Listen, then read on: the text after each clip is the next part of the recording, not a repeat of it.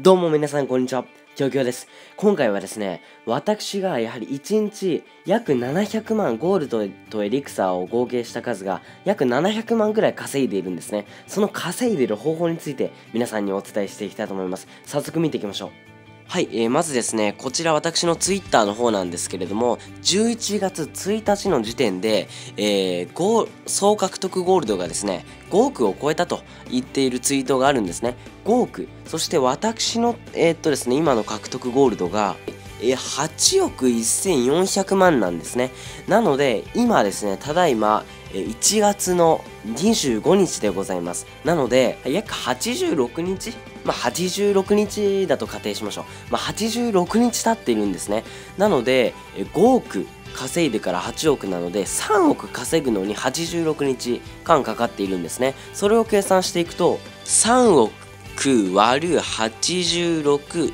はですね、まあ、約、えー、340万ぐらいということですね。エリクサーではなく、これがゴールドの値ですね。それをですね、まあ、基本的に私は放置村を借り続けているので、やっぱ放置村っていうのは、例えばゴールドが24万溜まっていたら、まあ、基本的にエリクサーも24万溜まっているんですよ。なので、そう仮定、それをですね、まあ、条件として、えー、仮定していくとですね、まあ、約700万稼いでいるという計算というか、そういう数値ですよね。はい。まあ、そのですね、700万稼ぐ、まあ、秘訣というものは、やはりまあ、大事なのは時間とエメラルドになってくるんですけれども、エメラルドはそこまで必要ないです。まあ、無課金では確かにその1日そのゴールドとエリクサーを約700万稼ぐっていうのは厳しいかもしれませんけれども美課金美課金の方なら普通にできますね。えー、まあ、私がやっている、まあ、攻撃リプレイを見てもらえばわかるんですけれども、まあ、このようにですね、えー、ま放置村を狙っていますよね。うん、放置村を狙っております。まあ、放置村のですね、まあ、借り方とかいうのを、まあ、ババアチャの動画を見てもらえば、まあ、10個ぐらい、15個ぐらい前の動画にババアチャの動画があるので、そちらをご覧ください。まあ、こんな感じで、えー、私はですね、常日頃、ログイン時間平日で、まあ、平日で、まあ、2、3時間で、休日で、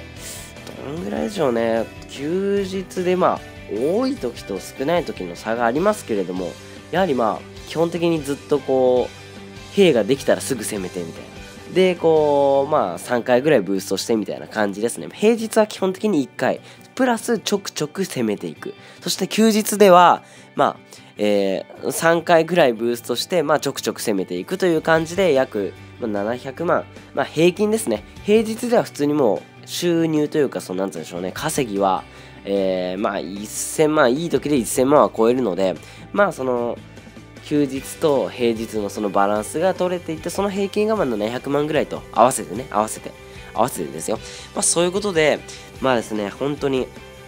まあ取る秘訣はですねやっぱり、えー、弊社をブーストしていくという感じですね。私が10個ぐらい前の動画に出したですね、最近流行りの注目の攻め攻め方、えー、戦法といいますか、まあ、そのオメガスタイルという攻め方、戦法がありますので、そういうのをやってみたりですね、まあ、私は最近は、えー、弊社をですね、この弊社をバーバリアン、この弊社はアーチャー、アーチャー、アーチャーという感じで、えー、バーバリアン、アーチャー、アーチャー、アーチャーの弊社を作ってですね、バーバリアンとアーチャー2個の弊社をブーストして、えー、2時間借り続けるということをやっております。そんな感じでやっていけばですね、やはりこういう、まあ、日壁、日壁とかレゴ壁とかドクロ壁結構塗るの大変だと思いますけれども、結構、まあ、簡単にというか、えー、普通にですね、稼ぐことができるのでしっかりと塗れていけるかなと思います。ということでですね、この